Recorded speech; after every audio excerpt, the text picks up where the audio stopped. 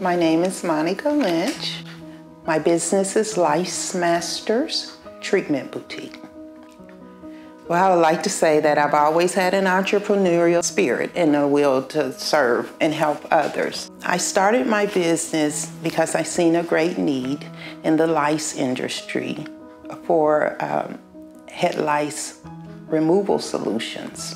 The things that I'm most proud of is that I'm able to actually relieve the parents and the children from something that can be so stressful and cause so much anxiety and pain in their lives. And also the fact that I'm able to provide education to the community and change the stigma that's associated with lice.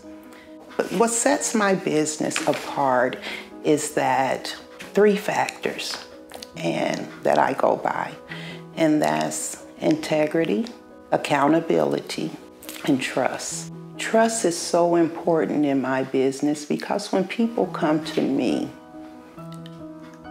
they're putting the care of their children in my hands. And I want them to know that they're in a safe environment, that we will look out for them, and that we will take care of them. So I think trust should be number one in any business. I became BBB accredited because I knew that it was, when I started my business, I knew that it was important that when my customers walk through my door, that they see that sign because that is a sign of trust. I would definitely highly recommend uh, BBB. It's important that when consumers come through your door, that they know that they're dealing with a business that they can trust.